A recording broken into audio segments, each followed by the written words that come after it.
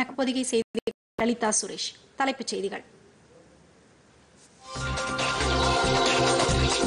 உத்தரப்பிரதேசம் உத்தராகண்ட் மணிப்பூர் கோவா மாநிலங்களில் பிஜேபி பெரும்பாலான இடங்களில் முன்னிலை உத்தரப்பிரதேசத்தில் மீண்டும் ஆட்சியை கைப்பற்றுகிறது பிஜேபி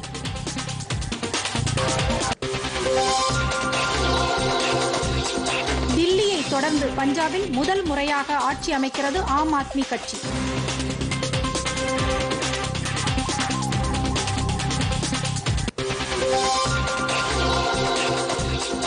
கொரோனா பரவல் தடுப்பு நடவடிக்கைகள் குறித்து பிரதமர் நரேந்திர மோடி உயர்மட்ட ஆலோசனை கொரோனா பரவல் தடுப்பு வழிமுறைகளை பொதுமக்கள் தொடர்ந்து பின்பற்ற அறிவுரை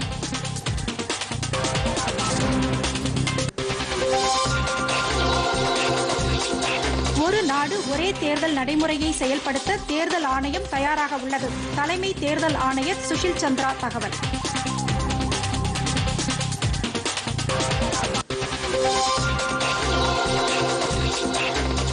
முதலமைச்சர் மு ஸ்டாலின் தலைமையில் மாவட்ட ஆட்சியர்கள் மற்றும் காவல் உயர் அதிகாரிகளின் மூன்று நாள் மாநாடு சென்னையில் தொடங்கியது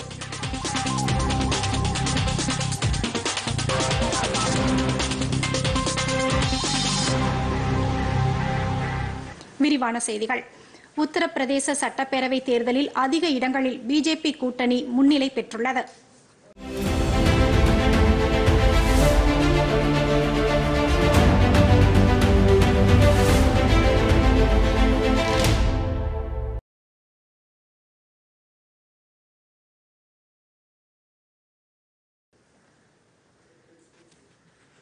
முதலமைச்சர் யோகி ஆதித்யநாத் தலைமையில் உத்தரப்பிரதேசத்தில் ஆட்சியை பிஜேபி மீண்டும் தக்க வைத்துள்ளது நானூற்று மூன்று சட்டப்பேரவை தொகுதிகளை கொண்ட உத்தரப்பிரதேச மாநிலத்திற்கு தேர்தல் நடைபெற்று முடிந்த நிலையில் இன்று வாக்கு எண்ணிக்கை நடைபெறுகிறது முதலில் தபால் வாக்குகள் எண்ணப்பட்டன பின்னர் வாக்குப்பதிவு எந்திரங்களில் பதிவான வாக்குகள் எண்ணப்பட்டு முன்னிலை நிலவரங்கள் அறிவிக்கப்பட்டு வருகின்றன சற்று முன்வரை பிஜேபி கூட்டணி இருநூற்றி அறுபத்தி ஏழு இடங்களில் முன்னிலை பெற்றுள்ளதாக தேர்தல் ஆணையம் அறிவித்துள்ளது சமாஜ்வாதி கட்சி கூட்டணியினர் நூற்று முப்பத்தி ஒரு இடங்களில் முன்னிலை வகித்து வருகின்றனர் பகுஜன் சமாஜ் இரண்டு இடங்களிலும் அகில இந்திய காங்கிரஸ் ஒரு இடங்களிலும் மற்றவர்கள் இரண்டு இடங்களிலும் முன்னிலை பெற்றுள்ளனர் கோரக்பூர் அர்பன் சட்டப்பேரவை தொகுதியில் போட்டியிட்ட முதலமைச்சர் யோகி ஆதித்யநாத் தம்மை எதிர்த்து போட்டியிட்ட சமாஜ்வாதி கட்சி வேட்பாளரை பின்னுக்கு தள்ளி தேர்தல் முடிவுகளில் முன்னிலை வகித்து வருகிறார் கார்கள் தொகுதியில் போட்டியிட்ட சமாஜ்வாதி கட்சியின் தலைவரும் முன்னாள் முதலமைச்சருமான அகிலேஷ் யாதவ் முன்னிலை வகித்து வருகிறார் பஞ்சாப் மாநில சட்டப்பேரவை தேர்தலில் மொத்தமுள்ள நூற்று பதினேழு இடங்களில் எண்பத்தி ஒன்பது இடங்களில் முன்னிலை பெற்றுள்ளதால் ஆம் ஆத்மி கட்சி ஆட்சி அமைக்கும் வாய்ப்பு ஏற்பட்டுள்ளது இதனைத் தொடர்ந்து ஆம் ஆத்மி கட்சியின் முதலமைச்சர் வேட்பாளர் பக்வந்த் மன் இல்லத்திற்கு முன்பு அக்கட்சியின் தொண்டர்கள் இனிப்புகள் வழங்கியும் பட்டாசு வெடித்தும் கொண்டாட்டப்பட்டனர் புதுதில்லியில் உள்ள ஆம் ஆத்மி தலைமை அலுவலகத்திலும் அக்கட்சியினர் கொண்டாட்டத்தில் ஈடுபட்டுள்ளனர் பஞ்சாப் முதலமைச்சர் சரண்ஜித் சிங் சன்னி காங்கிரஸ் கட்சி மாநில தலைவர் நவ்ஜோத் சிங் சித்து ஆகியோர் தேர்தலில் பின்னடைவை சந்தித்து உள்ளனர் காங்கிரஸ் கட்சியிலிருந்து விலகி தனி கட்சி தொடங்கிய முன்னாள் முதலமைச்சரான அமரேந்தர் சிங் பாட்டியாலா தொகுதியில் தோல்வியை தழுவியுள்ளார் பஞ்சாபில் ஆம் ஆத்மி எண்பத்தி ஒன்பது இடங்களில் முன்னிலை வகித்து வரும் நிலையில் அகில இந்திய காங்கிரஸ் பதினேழு இடங்களிலும் அகாலிதள கூட்டணி ஏழு இடங்களிலும் முன்னிலை வகித்து வருகின்றனர் பிஜேபி கூட்டணி இரண்டு இடங்களில் மற்றவைகள் இரண்டு இடங்களிலும் முன்னிலை வகிக்கின்றது உத்தராகண்ட் மாநில சட்டப்பேரவை தேர்தல் முடிவுகளில் நாற்பத்தி ஆறு இடங்களில் பிஜேபி முன்னிலை பெற்றுள்ளது மொத்தமுள்ள எழுபது தொகுதிகளில் இருபத்தி ஒரு இடங்களில் அகில இந்திய காங்கிரசும் மற்றவை மூன்று இடத்திலும் முன்னிலை வகித்து வருகின்றன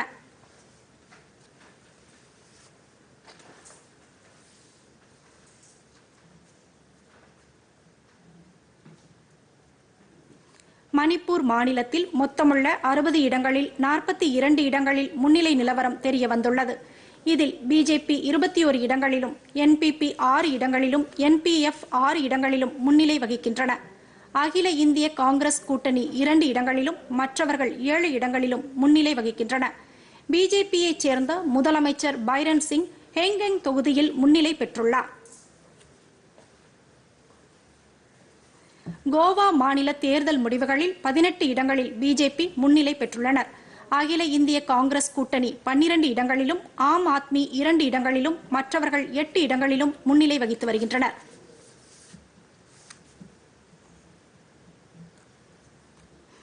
கொரோனா பரவல் தடுப்புக்கான வழிமுறைகளை மக்கள் தொடர்ந்து பின்பற்ற வேண்டும் என்று பிரதமர் நரேந்திர மோடி வலியுறுத்தியுள்ளார் இந்தியாவில் கொரோனா பரவல் மற்றும் தடுப்பூசி போடும் பணிகள் குறித்து பிரதமர் நரேந்திர மோடி உயர்மட்ட ஆலோசனை நடத்தினார் இதில் மத்திய உள்துறை அமைச்சர் அமித்ஷா சுகாதாரத்துறை அமைச்சர் மன்சுக் மாண்டவியா மற்றும் மூத்த அதிகாரிகள் கலந்து கொண்டனர் அப்போது சர்வதேச அளவிலான கொரோனா பரவல் மற்றும் இந்தியாவில் உள்ள நிலவரம் ஆகியவை குறித்து அதிகாரிகள் விரிவாக எடுத்துரைத்தனர் மத்திய அரசின் முயற்சியால் ஒருங்கிணைந்து மேற்கொள்ளப்பட்ட நடவடிக்கைகளால் கொரோனா பரவல் சிறப்பான முறையில் கட்டுப்படுத்தப்பட்டதாக எடுத்துரைக்கப்பட்டது தடுப்பூசி போடுவோர் சுகாதார பணியாளர்கள் மற்றும் மத்திய மாநில அரசுகளின் தொடர் முயற்சிகளுக்கு பிரதமர் நரேந்திர மோடி பாராட்டு தெரிவித்தார் கொரோனா தடுப்பு வழிமுறைகளை தொடர்ந்து பின்பற்ற வேண்டியதன் அவசியத்தை பிரதமர் எடுத்துரைத்தார் மேலும் பொதுமக்கள் தங்களுக்கான காலத்தில் உரிய முறையில் தடுப்பூசி போட்டுக்கொள்ள வேண்டும் என்று அவர் கேட்டுக்கொண்டார்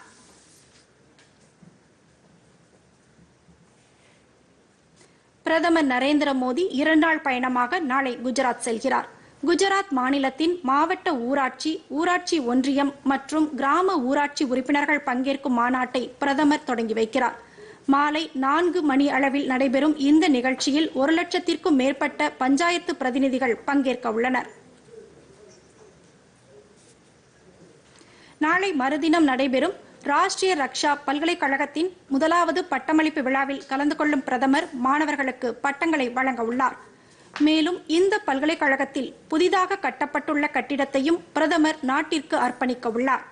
இரண்டாயிரத்து இருபதாம் ஆண்டு அக்டோபர் ஒன்றாம் தேதி முதல் செயல்பட்டு வரும் இந்த பல்கலைக்கழகம் நீதித்துறை நிர்வாகத்துறையில் அதீத திறன் கொண்டவர்களை உருவாக்கும் நோக்கத்தில் தொடங்கப்பட்டது குறிப்பிடத்தக்கது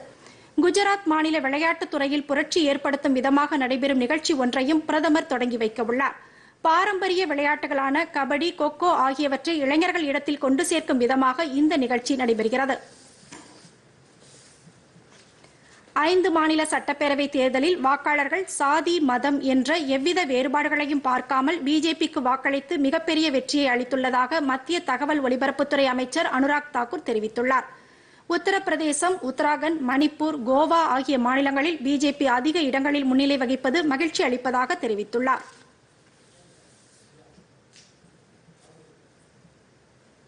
कानून व्यवस्था गरीब कल्याण और विकास ये मुद्दे जनता में बहुत बढ़ चढ़ कर थे लोग मानते थे कि हमारा उत्तर प्रदेश आगे बढ़ा है और मोदी जी की लोकप्रियता जो पूरे उत्तर प्रदेश में देखने को मिली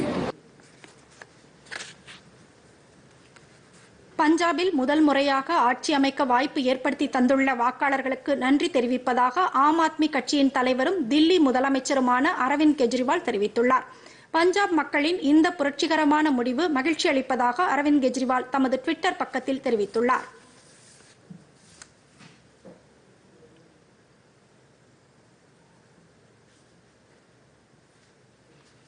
உத்தரப்பிரதேசம் உத்தராகண்ட் மணிப்பூர் கோவா ஆகிய நான்கு மாநிலங்களில் பிஜேபி முன்னிலை வகிப்பது பிரதமர் நரேந்திர மோடி ஆட்சிக்கு கிடைத்த வெற்றி என்று பிஜேபி மாநில தலைவர் அண்ணாமலை தெரிவித்துள்ளார் இன்று சென்னையில் செய்தியாளர்களிடம் பேசிய அவர் காங்கிரஸ் கட்சியின் பொய்யான தேர்தல் பிரச்சாரத்தை பொதுமக்கள் நிராகரித்ததன் காரணமாக இந்த மாநிலங்களில் பிஜேபி முன்னிலை வகிப்பதாக அண்ணாமலை கூறினார் உத்தரப்பிரதேசத்தை பொறுத்தவரை அறுபத்தி எட்டு இடங்களில் போட்டியிட்ட ஷெட்யூல்டு மற்றும் பழங்குடியினர் ஐம்பத்தி நான்கு இடங்களில் முன்னிலை வகிப்பது பிஜேபி கட்சிக்கு சாதி மத இன பேதங்களை மறந்து மக்கள் வாக்களித்திருப்பது நிரூபணமாகியுள்ளதாக தெரிவித்தார் தமிழக முதலமைச்சர் மத்திய அரசுடன் விரோத போக்கை விட்டு மாநிலத்தின் வளர்ச்சிக்காக இணைந்து பாடுபடுவார் என்றும் அண்ணாமலை நம்பிக்கை தெரிவித்தார் இந்த நான்கு மாநிலங்களின் தேர்தல் முடிவுகள் பிஜேபி தொண்டர்களுக்கு உற்சாகத்தை ஏற்படுத்தியுள்ளதாக அண்ணாமலை கூறினார் பிஜேபியின் இந்த வெற்றியை தமிழகத்தின் பல்வேறு இடங்களில் பிஜேபி தொண்டர்கள் கொண்டாடி வருகின்றனர் மதுரை நாமக்கல் தருமபுரி கன்னியாகுமரி ஆகிய மாவட்டங்களில் பட்டாசு வெடித்தும் பொதுமக்களுக்கு இனிப்புகள் வழங்கியும் உற்சாகமாக கொண்டாடினர்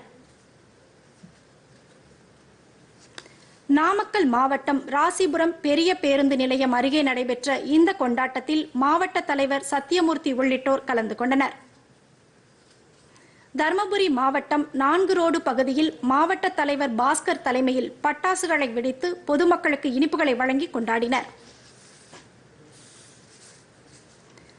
ஒரு நாடு ஒரே தேர்தல் முறையை செயல்படுத்துவதற்கு அரசியல் சாசனத்தில் திருத்தம் செய்ய வேண்டியிருப்பதாக தலைமை தேர்தல் ஆணையர் சுஷில் சந்திரா தெரிவித்துள்ளார்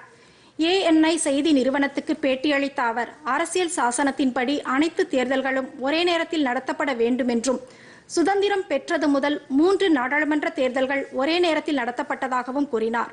அதன் பிறகு நாடாளுமன்றம் சில நேரங்களிலும் மாநில சட்டப்பேரவைகள் சில நேரங்களிலும் கலைக்கப்பட்டதாகவும் இதனால் அட்டவணையில் மாற்றம் ஏற்பட்டதாகவும் அவர் தெரிவித்தார் ஒரு நாடு ஒரே தேர்தல் என்பது சிறந்த ஆலோசனை என்றும் இதனை நடைமுறைப்படுத்த அரசியல் சாசனத்தில் திருத்தங்களை செய்ய வேண்டும் என்று கூறினார்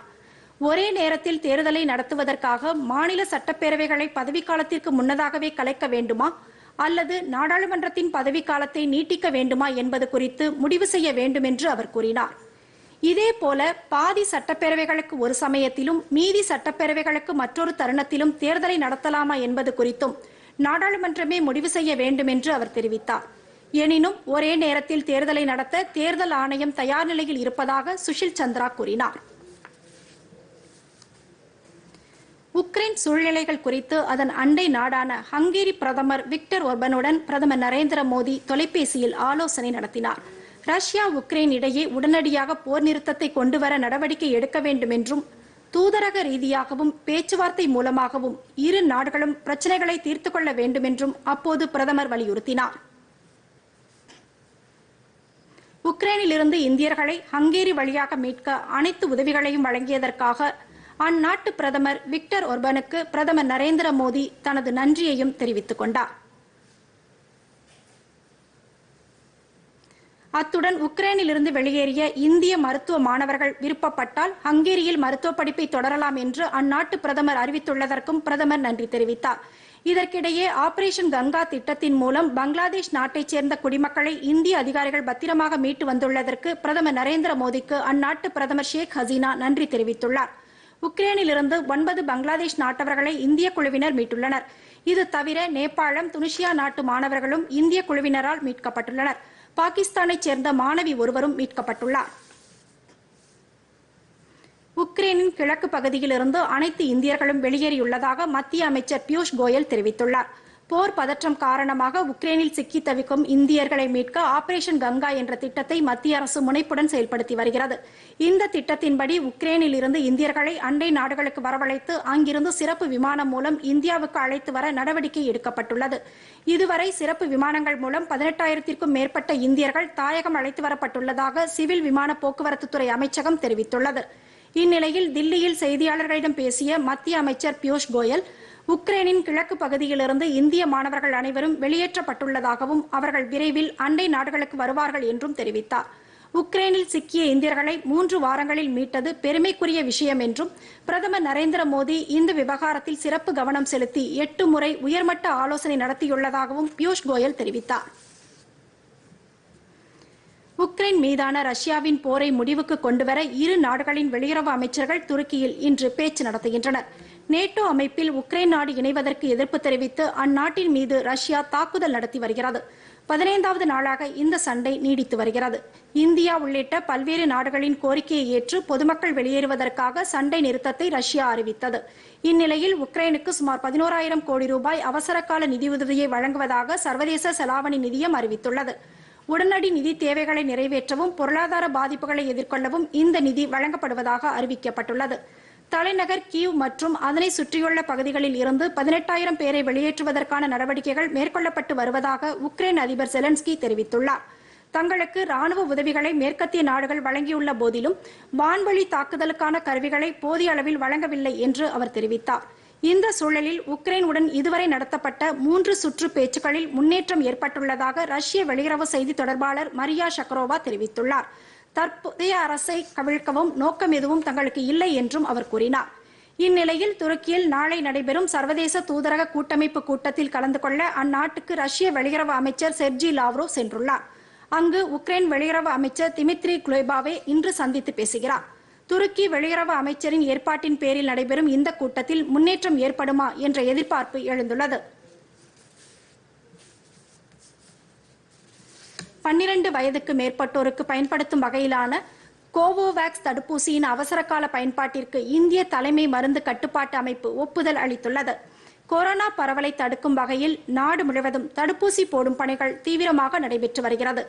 பன்னிரண்டு வயதுக்கு மேற்பட்டவர்களுக்கு தடுப்பூசி போடும் பணிகள் கடந்த ஜனவரி மாதம் தொடங்கியது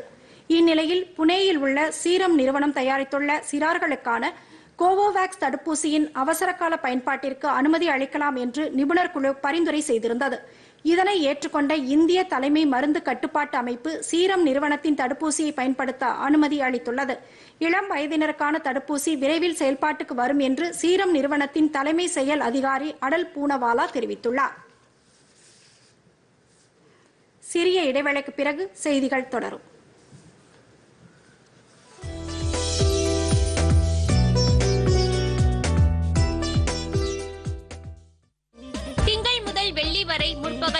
மூன்று முப்பது மணிக்கு வழிகாட்டி நம் பாரத பிரதமரின் மக்கள் நல திட்டங்கள் நாட்டின் கட்டமைப்பு மகளிர் மேம்பாடு வளர்ச்சி திட்டங்கள் வேளாண் வளர்ச்சி திட்டம் தொழில் முனைவு பொருளாதார மேம்பாடு இன்னும் பல திட்டங்கள் பற்றி துறைசார் வல்லுநர்கள் பங்கேற்கும் வழிகாட்டி இதன் மறு ஒலிபரப்பு இரவு பதினொன்று முப்பது மணிக்கு பொதிகையுடன் இணைந்திருங்கள் செய்திகள் தொடர்கின்றன நேர்மையாகவும் ஒளிவு மறைவற்ற முறையிலும் பணியாற்ற வேண்டும் என்று மாவட்ட ஆட்சியர்கள் மற்றும் காவல்துறை அதிகாரிகளை முதலமைச்சர் மு ஸ்டாலின் கேட்டுக் கொண்டுள்ளார் அரசு திட்டங்களின் செயல்பாடுகள் மற்றும் சட்டம் ஒழுங்கு குறித்து மாவட்ட ஆட்சியர்கள் மற்றும் மாவட்ட காவல்துறை தலைவர்களுடன் முதலமைச்சர் ஒவ்வொரு ஆண்டும் ஆலோசனை நடத்துவது வழக்கம் இந்நிலையில் முதல் முறையாக வனத்துறை அதிகாரிகளையும் ஒன்றிணைத்து மாநாடு நடத்தப்படுகிறது சென்னை தலைமைச் செயலகத்தில் மூன்று நாட்கள் நடைபெறும் இந்த மாநாட்டின் முதற்கட்டமாக மாவட்ட ஆட்சியர்கள் மற்றும் காவல்துறை அதிகாரிகளின் மாநாட்டை முதலமைச்சர் மு ஸ்டாலின் இன்று காலை தொடங்கி வைத்தார் அப்போது பேசிய அவர் மாணவர்கள் இளைஞர்கள் என அனைவருக்கும் வழிகாட்டியாக மாவட்ட ஆட்சியர்கள் திகழ வேண்டும் என்று கேட்டுக்கொண்டார் மக்கள் நலன் சார்ந்த திட்டங்களின் வெற்றி என்பது அதிகாரிகளின் செயல்பாடுகளை பொறுத்தே அமையும் என்று குறிப்பிட்ட அவர் அனைவரும் நேர்மையாக ஒளிவு மறைவற்ற முறையில் முழு அர்ப்பணிப்போடு செயல்பட வேண்டும் என்று கேட்டுக்கொண்டாா் உங்கள் தொகுதியில் முதலமைச்சர் திட்டத்தின் கீழ் செயல்படும் மனுக்கள் மீது உடனுக்குடன் நடவடிக்கை எடுக்க வேண்டும் என்று மு க ஸ்டாலின் கேட்டுக்கொண்டார்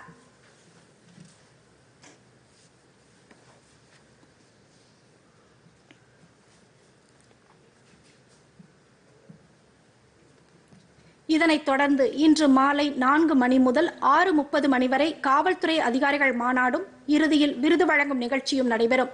நாளை மற்றும் நாளை மறுதினம் மாவட்ட ஆட்சியர்கள் மாநாடு நடைபெறும் புதுச்சேரியில் அரசு மருத்துவமனையில் பணியாற்றும் மருத்துவர் செவிலியர் உள்ளிட்ட அறுநூற்றி எண்பத்தி இரண்டு மருத்துவ பணியாளர்களுக்கு அடுத்த மாதம் ஒன்றாம் தேதி முதல் ஊதிய உயர்வு வழங்கப்படும் என்று முதலமைச்சர் ரங்கசாமி தெரிவித்துள்ளார்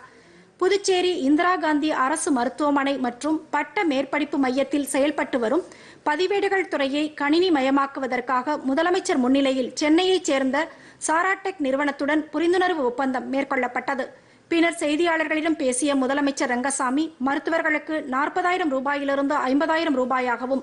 மருத்துவ உதவியாளர்களுக்கு ஆறாயிரம் ரூபாயிலிருந்து பதிமூன்றாயிரம் ரூபாயாகவும் ஊதியம் உயர்த்தி வழங்கப்படும் என்று தெரிவித்தார் நாடு முழுவதும் பெண்களை மையமாக கொண்ட படிப்புகள் குறித்து விழிப்புணர்வு முகாம் நடைபெற்றது நாட்டின் எழுபத்தி ஐந்தாவது சுதந்திர தின கொண்டாட்டத்தின் ஒரு பகுதியாக நடைபெற்ற இந்த விழிப்புணர்வு நிகழ்ச்சி ஊரக மேம்பாட்டுத்துறை சார்பில் நடத்தப்பட்டது உதவி அழகு சிகிச்சையாளர் தையல் போன்ற படிப்புகளில் உள்ள வாய்ப்புகள் குறித்து சுமார் நான்காயிரத்து இருநூற்றி எண்பத்தி ஒரு பெண்களிடம் எடுத்துரைக்கப்பட்டது முகாம்கள் அமைத்தும் வாகனங்களில் விழிப்புணர்வு மேற்கொண்டும் இத்தகைய வேலை வாய்ப்புகள் குறித்து பெண்களுக்கு எடுத்துரைக்கப்பட்டது ஆர்வமுள்ள பெண்கள் இந்த படிப்புகளில் சேர விண்ணப்பங்கள் பெறப்பட்டது தொடர்வது விரைவு செய்திகள்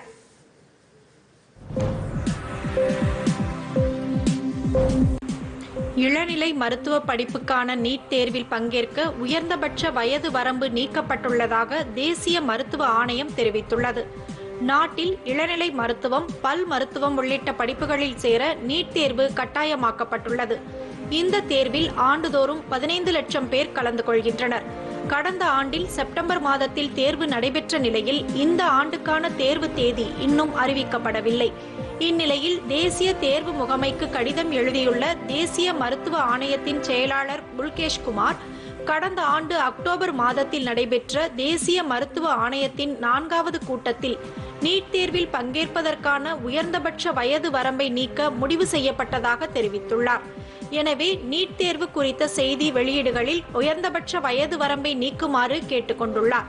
இதற்கு முன்னதாக அதிகபட்சமாக பொது பிரிவினருக்கு இருபத்தி ஐந்து வயதும் இடஒதுக்கீட்டு பிரிவினருக்கு முப்பது வயதும் இருக்க வேண்டும் என்று வரம்பு நிர்ணயிக்கப்பட்டிருந்தது குறிப்பிடத்தக்கது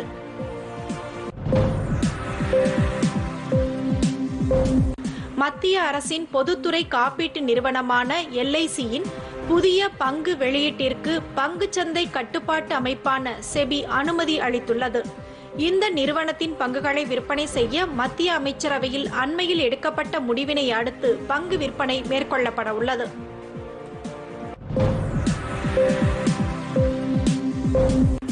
திருவாரூரில் உள்ள மத்திய பல்கலைக்கழகத்தில் விவசாயிகள் மற்றும் உற்பத்தி நிறுவனங்களுக்கான மத்திய மாநில அரசுகளின் திட்டங்கள் வாய்ப்புகள் குறித்த ஒருநாள் பயிற்சி முகாம் நடைபெற்றது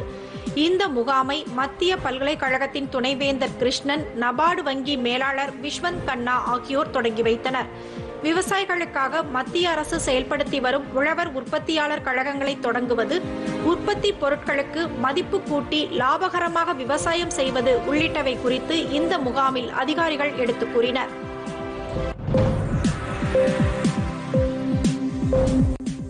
தெற்கு காஷ்மீரில் புல்வாமா மாவட்டத்தில் உள்ள நைனா பட்போரா பகுதியில் பயங்கரவாதிகளுக்கும் பாதுகாப்பு படையினருக்கும் இடையே இன்று துப்பாக்கிச் சூடு நடந்ததாக அதிகாரிகள் தெரிவித்தனர் பயங்கரவாதிகளின் நடமாட்டம் குறித்த தகவலின் அடிப்படையில் அப்பகுதியை சுற்றி வளைத்த காவல்துறை மற்றும் பாதுகாப்பு படையினர் தேடுதல் வேட்டையில் ஈடுபட்டனர் அப்போது பயங்கரவாதிகள் பதுங்கியிருக்கும் இடத்தை நோக்கி துப்பாக்கிச் சூடு நடத்தினர் இதில் ஒரு பயங்கரவாதி சுட்டுக் கொல்லப்பட்டதாக அதிகாரிகள் தெரிவித்தனர்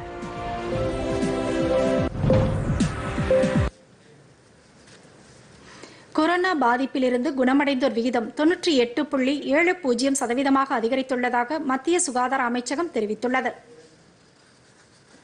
நாட்டில் கடந்த இருபத்தி நான்கு மணி நேரத்தில் புதிதாக நான்காயிரத்து நூற்று எண்பத்தி நான்கு பேருக்கு கொரோனா தொற்று உறுதி செய்யப்பட்டுள்ளது தொற்றிலிருந்து ஆறாயிரத்து ஐநூற்று ஐம்பத்தி நான்கு பேர் குணமடைந்த நிலையில் நூற்று நான்கு பேர் உயிரிழந்தனர் கொரோனா தொற்றுக்கு சிகிச்சை பெற்று வருபவர்களின் எண்ணிக்கை நாற்பத்தி நான்காயிரத்து நானூற்று நாற்பத்தி எட்டாக குறைந்துள்ளதாக மத்திய சுகாதாரத்துறை அமைச்சகம் தெரிவித்துள்ளது தமிழகத்தில் நேற்று புதிதாக நூற்று நாற்பத்தி ஏழு பேருக்கு கொரோனா தொற்று உறுதி செய்யப்பட்டுள்ளது முன்னூற்று எண்பத்தி ஏழு பேர் தொற்றிலிருந்து குணமடைந்துள்ள நிலையில் இரண்டு பேர் உயிரிழந்தனர் தற்போது ஆயிரத்து தொள்ளாயிரத்து மூன்று பேர் சிகிச்சை பெற்று வருவதாக மருத்துவ மற்றும் மக்கள் நல்வாழ்வுத்துறை வெளியிட்டுள்ள செய்திக்குறிப்பில் தெரிவித்துள்ளது சென்னையில் நாற்பத்தி ஏழு பேர் கொரோனா தொற்றால் பாதிக்கப்பட்டுள்ளதாக அந்த செய்திக்குறிப்பு தெரிவிக்கிறது உலகம் முழுவதும் கொரோனா தொற்றால் பாதிக்கப்பட்டவர்களின் எண்ணிக்கை நாற்பத்தி ஐந்து கோடியே பதினெட்டு லட்சத்து ஆறாயிரத்து எண்ணூற்று தொன்னூற்று மூன்றாக உள்ளது இதுவரை தொற்று பாதிப்பு காரணமாக அறுபது லட்சத்து நாற்பத்தி மூன்றாயிரத்து தொள்ளாயிரத்து பத்தொன்பது பேர் உயிரிழந்துள்ளனர் தொற்றிலிருந்து முப்பத்தி எட்டு கோடியே அறுபது லட்சத்து தொன்னூற்று இரண்டாயிரத்து முன்னூற்று எழுபத்தி ஆறு பேர் குணமடைந்துள்ளனர் நாடு முழுவதும் இதுவரை நூற்றி எழுபத்தி ஒன்பது கோடியே ஐம்பத்தி மூன்று லட்சத்திற்கும் மேற்பட்ட கொரோனா தடுப்பூசிகள் செலுத்தப்பட்டுள்ளதாக மத்திய சுகாதார அமைச்சகம் தெரிவித்துள்ளது நாடு முழுவதும் இதுவரை நூற்றி எழுபத்து ஒன்பது கோடியே ஐம்பத்தி மூன்று லட்சத்து தொன்னூற்று ஐந்தாயிரத்து அறுநூற்று நாற்பத்தி ஒன்பது கொரோனா தடுப்பூசிகள் செலுத்தப்பட்டுள்ளன கடந்த இருபத்தி நான்கு மணி நேரத்தில் மட்டும் பதினெட்டு லட்சத்து இருபத்தி மூன்றாயிரத்து முன்னூற்று இருபத்தி ஒன்பது கொரோனா தடுப்பூசிகள் செலுத்தப்பட்டுள்ளது பதினெட்டு வயதிற்கு மேற்பட்டோருக்கு முதல் தவணையாக தொன்னூற்றோரு கோடியே எட்டு லட்சத்து ஆறாயிரத்து எண்பத்தி ஏழு தடுப்பூசிகள் செலுத்தப்பட்டுள்ளன இரண்டாவது தவணையாக எழுபத்தி ஏழு கோடியே ஐம்பத்தி நான்கு லட்சத்து எழுபதாயிரத்து இருநூற்றி இருபத்தி ஆறு கொரோனா தடுப்பூசிகள் செலுத்தப்பட்டுள்ளதாக மத்திய சுகாதாரத்துறை அமைச்சகம் தெரிவித்துள்ளது இதுவரை இரண்டு கோடியே ஒன்பது லட்சத்து அறுபத்தி ஐந்தாயிரத்து தொள்ளாயிரத்து எழுபத்தி ஒன்பது பூஸ்டர் தடுப்பூசிகள் செலுத்தப்பட்டுள்ளது தமிழகத்தில் பூஸ்டர் தடுப்பூசிகள் உட்பட ஒன்பது கோடியே தொன்னூற்று ஆறு லட்சத்து தொன்னூற்று ஒன்பதாயிரத்து இருநூற்று முப்பத்தி ஏழு தடுப்பூசிகள் செலுத்தப்பட்டுள்ளன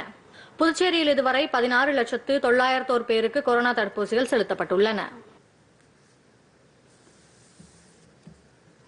தமிழகம் மற்றும் புதுவை காரைக்கால் பகுதிகளில் இன்றும் நாளையும் பெரும்பாலும் வறண்ட வானிலையே நிலவும் என்று சென்னை வானிலை ஆய்வு மையம் தெரிவித்துள்ளது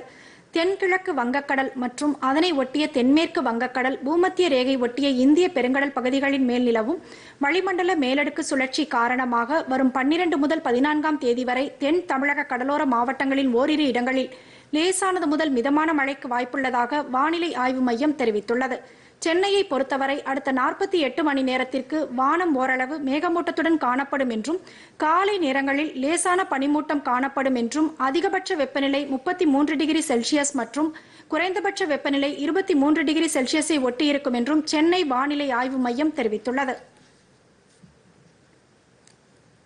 மீண்டும் தலைப்புச் செய்திகள்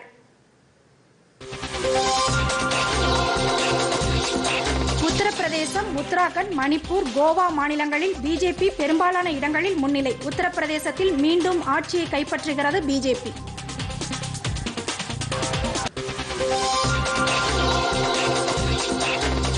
தில்லியை தொடர்ந்து பஞ்சாபில் முதல் முறையாக ஆட்சி அமைக்கிறது ஆம் ஆத்மி கட்சி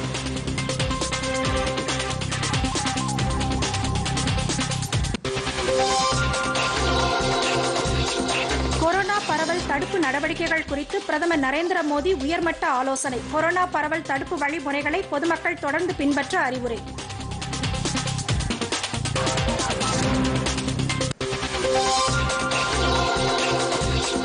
ஒரு நாடு ஒரே தேர்தல் நடைமுறையை செயல்படுத்த தேர்தல் ஆணையம் தயாராக உள்ளது தலைமை தேர்தல் ஆணையர் சுஷில் சந்திரா தகவல்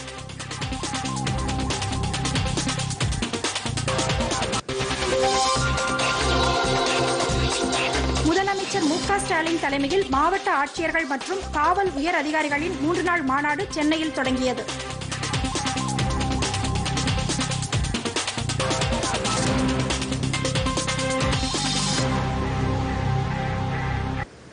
இத்துடன் இந்த செய்தியறிக்கை நிறைவடைகிறது மீண்டும் செய்திகள் மாலை ஐந்து மணிக்கு வணக்கம்